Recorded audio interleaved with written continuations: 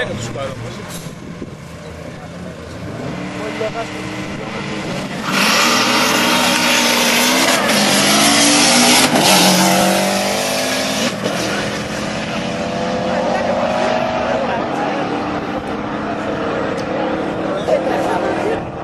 νικητής στο δεξί διάδρομο Παπαφιλίππου με χρόνο 12.404. 173 χιλιόμετρα ταχύτητα εξόδου και 12.621 για τον Καλοπίτα με 168 χιλιόμετρα έξοδο.